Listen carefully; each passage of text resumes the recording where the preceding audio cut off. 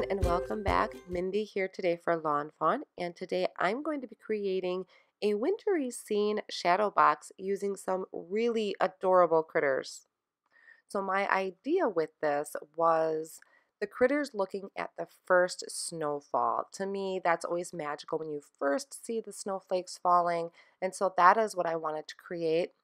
I'm starting off with the stamp set Winter Skies and I decided on these two individual critters. I actually don't end up using uh, the bear, but I had it here just in case.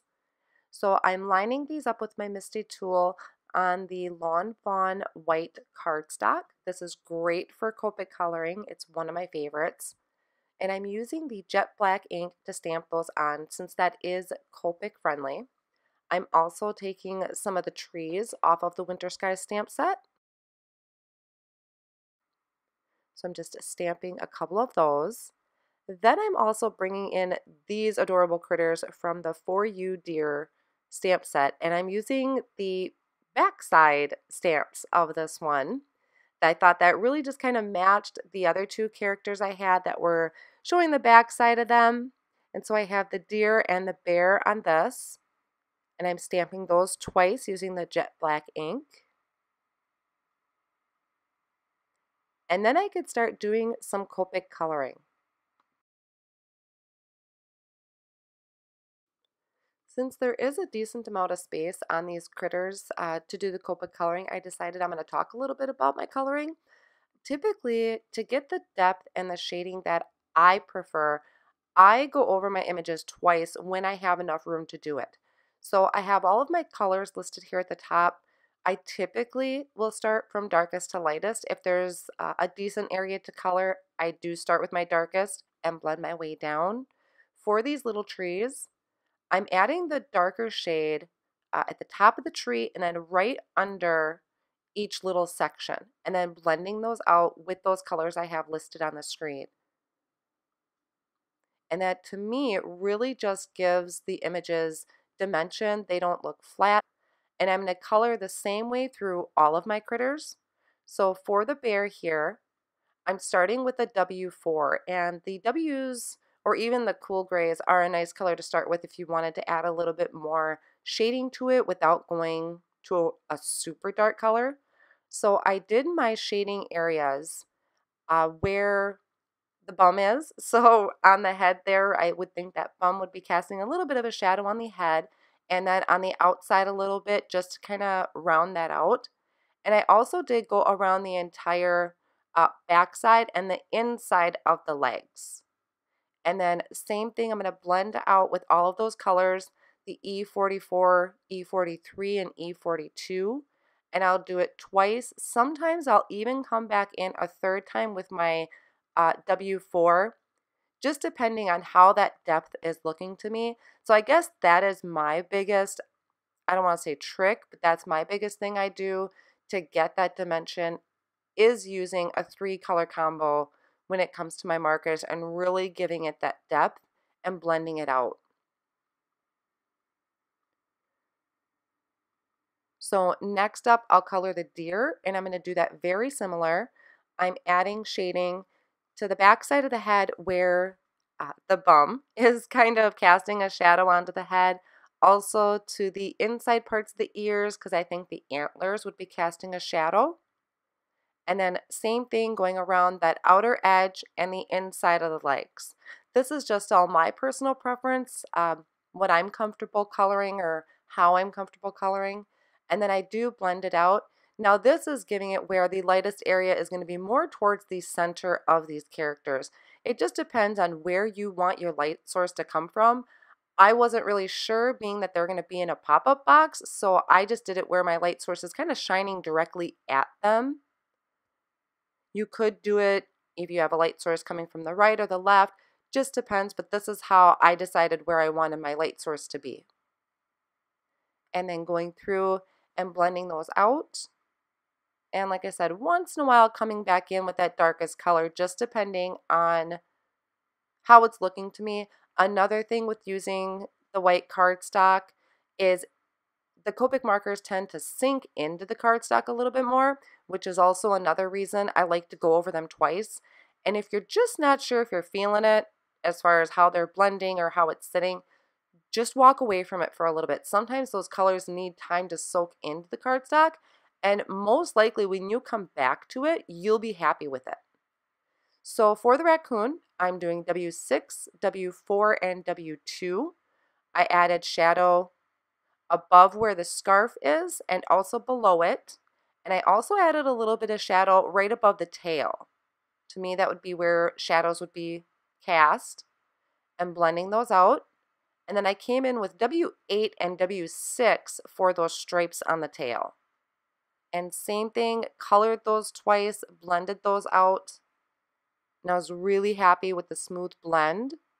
And then I also did for the hooves the W6 uh, and W4 for my deer. The antlers is just an E44 and then an E41, just enough to give that dimension. And now for my scarf, I'm doing R39, R35, and R32, and I just added that R39 right where the lines are. I didn't do too much of it, just enough to make that distinction and blending them out.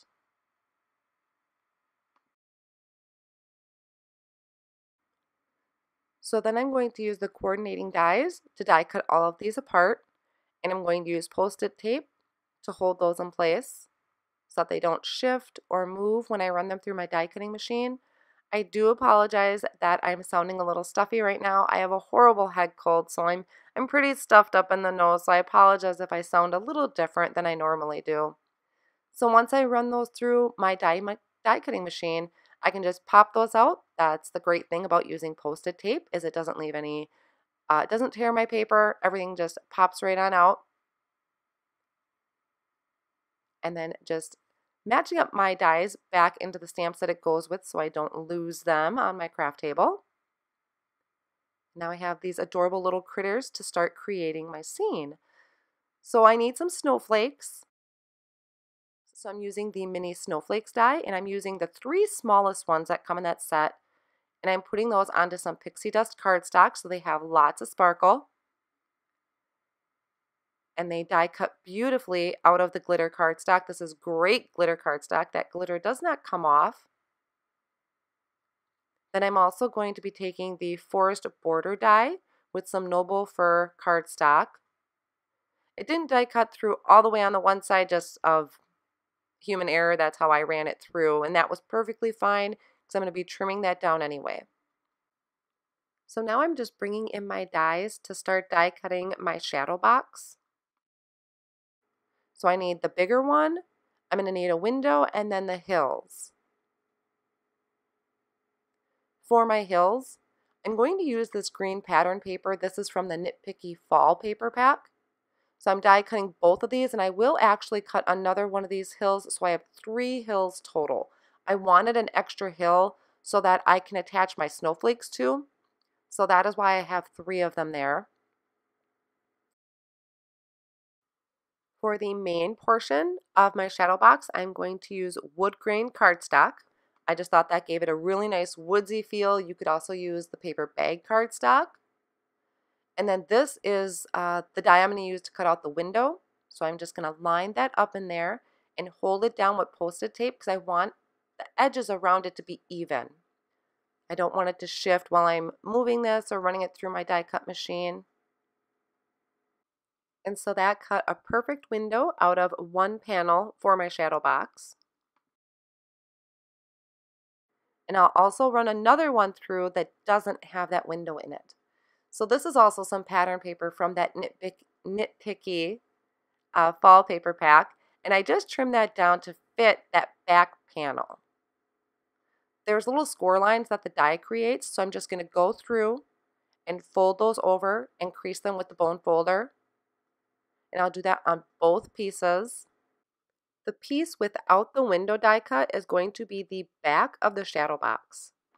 And that is where I want to create my snowy scene. Now I do have a couple mistakes here and I do show you how I fix them. This is going to be one of them. What I did was glue the pattern paper down first. What I should have done is taken one of those tabs and attached that to the other panel right away to complete one long panel. And I'll show you how I end up correcting it uh, a little bit later in the video, but that's what you should do first is get one tab glued down. I think it's important in videos to see errors that are made and how that can be fixed because it happens. It definitely happens a lot to me. I don't always show them, but I think it's important to show how we can fix them too. So now I need to create my snowy scene and I'm using the embossing pen from Lawn Fawn and I'm just adding little dots all over my background. And then I'm going to sprinkle this with textured embossing powder. I'm not going to heat set that yet. I just sprinkled that on so I could see where my dots are. And then I'm going to come back in and do some more all over the green cardstock. And this is just help setting the scene for my snowflakes. Not quite winter, it's just starting to snow. Then I can go ahead and heat set that. The textured embossing powder is kind of tricky. It isn't real shiny like regular embossing powder would be, so it's kind of hard to see when it's fully melted. And you'll see that in a moment too. so the next thing I want to do is I'm adding just a dusting of snow to my hills. So I'm using a Quickie glue pen and the Prisma glitter and adding just a little bit to the top of each hills. And I'll do that for all three of these. And with the Quickie glue pen, it is it does dry quick, so that's why I'm doing them each individually and just shaking that off onto a piece of scratch paper. As I'm building my scene, this is going to be the sentiment for the front of my box. And this is using the Ready Set Snow stamp set. I thought this label stamp was really cute and small enough to add to the front and it says ready, set, snow. And I thought that just worked out really perfect for the scene that I was going for. I'm stamping that with clear embossing ink onto some chili pepper cardstock. I did prep my cardstock first, but as you can see, I have a little smudge at the bottom, and that's okay. I'm die cutting this, so uh, that didn't phase me at all. So I just sprinkled on regular white embossing powder from Lawn Fawn and then heat setting that and die cutting that with the coordinating die. So now we could start putting our box together. So I am using some 1 8 of an inch uh, score tape. This is a really strong tape, so it's going to hold my box together really well. And I'm adding it to those tabs and the tabs on each side of the hills. I did set them off on the side to dry for a little while. That's kind of why I was doing my sentiment and some of my other prep work so that this had time to dry a little bit. And just pushing those down really good, making sure that that's stuck really good. And I'm just figuring out where my hills are going to go since I had two that were cut exactly the same. And now you're going to see one of my oopses. So this is where I'm realizing that that tab needed to be glued first. So like I said, if you were creating this, I would put this tab down first before attaching your scene. Luckily, I was able to just slide my finger underneath that edge and kind of pry that up just a little bit. And then I could slide my tab in there. And then as I was pushing down, I kind of noticed my some of my embossing powder wasn't completely heat set, so I'm going to fix that as well. But first I'm noticing as I'm trying to close my box that this needed to be trimmed down. So I'm just folding that over and I'm just trimming this down so that way when the box folds flat, nothing is going to get in the way and it's just going to be a really nice even crease. So like I said, I know this video was a little bit longer due to some of my oopses, but I think they're important to see. There's a lot of work that went into the prepping of this and your cardstock, you know, that's uh, something you don't want to waste. So this is how I was fixing things. And then you could see I'm coming back in and just heat setting that again, making sure that my snow uh, was good and set. Then I'm going to come in and I'm going to add my hills before I completely close my box. This is up to you how you want to do it. I decided to try and do this before I shut everything. I thought that would be a little bit easier than trying to get in between uh, my box pieces. So I attached the front one. This one is pretty close to the window. And then I'm removing adhesive from the one side and putting that behind it, just getting a little bit of space. And I'm folding those over, just making sure they're lining up and that everything is straight. And then I'll come in with the third one here. Now this third one, like I said, you're not going to really see it much. It was more of something to attach my snowflakes to and you'll see that here shortly. But this was just kind of something for me to attach things to. I'm not too worried if it's showing through. If you wanted it to show, you could move it up higher a little bit. So then I remove the adhesive on the other side. I'm folding those tabs down. I want those folded down. So when I close this or when I fold this over, that is going to attach to the cardstock. And then this is going to fold flat, really nice. So these are great. These fit perfectly in a uh, regular envelope, an A2 size envelope. And then I did remove the adhesive on the other tab and fold this over so my box was complete. And I kind of just go back and forth, folding it from one side to another, making sure that everything is creased really nice and there's no bumps in there so it would mail great. And so the scene is really starting to shape up. You could also decorate the other two sides of the inside of the box if you wanted. I just opted not to for this point. Now for the snowflakes, I am using some uh, little strips of acetate that I had cut down.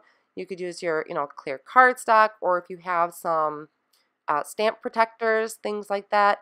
And I cut them into strips. They're fairly long strips, I'd say maybe about three inches.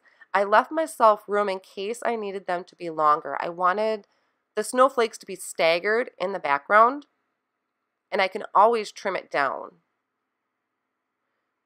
I'm just going to go in and start creating my scene with the critters. So I added my little tree there first, and then that cute little deer. And I'm just holding this down for a couple seconds, making sure that that glue is sticking really well to the pattern paper. This is where tweezers definitely come in handy. They help you kind of get into those little areas. And I'm using the Lawn Fawn liquid glue. It's really quick. And then I put my bear in the middle, so I staggered my critters so that I could see them all. The bear I kind of wanted to have in the front, but he was just so big he would have taken up uh, quite a bit of the front there. My raccoon, I think, would have gotten lost if I would have put him inside. So I'm just staggering them so I could see them all through my window. And I think that's looking really cute. And now I have my three strips of acetate here that I'm going to attach the snowflakes to with the Lawn Fawn liquid glue. And this is just to give the illusion of of it snowing. So I have the snow in the background, but I really wanted to add some more sparkle to it and more of a visual of what they're looking at. So I think that's where the snowflakes were super helpful with this. And using the acetate, you're not going to really see it. I mean, you will obviously if you're looking at it up close, but kind of far away, it's just giving the illusion that they're floating in the air coming down. So I thought that was super cool. And I decided to use the double-sided tape to attach those two. I kind of lined up about where I wanted it to peek through and then just push that down with my fingers from the bottom to hold those in place. I put a little bit more on this middle piece because the it was going to be by the bear or attached to the bear so I had a little bit more room to put some adhesive on. And same thing with that third one, just staggering it off on the side and trimming off any of the extra that I had hanging at the bottom. And the last part is just attaching the sentiment to the top of the box using the tweezers and the Lawn Fawn liquid glue. And that is going to finish up my project for today. So I hope you really enjoyed this tutorial. Thank you so much for joining me and have an amazing day.